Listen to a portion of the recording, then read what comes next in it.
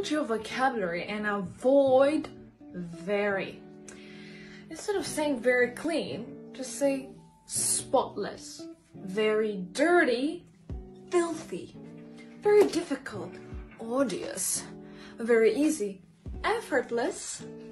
very dry, arid, very wet, soaked, very hungry, famished, very thirsty, parched, very scared, petrified, very calm, serene, very fast, swift, and the final one, very slow, sluggish. Unlock your full potential and speak English like a pro with ultrafluent.club and don't forget to follow